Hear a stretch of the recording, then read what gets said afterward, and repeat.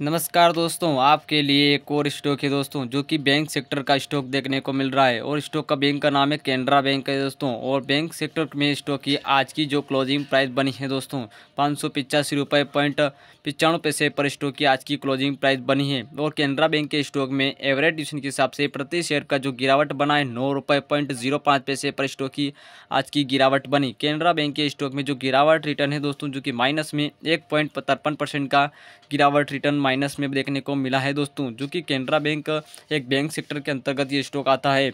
और दोस्तों, जो कि छः सौ बीस से स्टॉक में गिरावट बनती गई है दोस्तों, जो कि आप देख सकते हो मई से जो गिरावट बना है स्टॉक का, और यहाँ पर दोस्तों, जो कि सपोर्ट बनता गया स्टॉक में गिरावट के सपोर्ट गिरते गए दोस्तों, जो कि आप देख सकते हो, यहाँ से फिर एक तरफा जो गिरावट बनी, और यहाँ पर दोस्तों, जो कि सपोर्ट रजिस्ट्रेशन बनता हो गया है दोस्तों। अगर आप वीडियो पर पहली बार विज़िट कर रहे हैं, चैनल को ज़रूर सब्सक्राइब करें। प्यारा से वीडियो को लाइक एंड शेयर करना ना भूलें दोस्तों।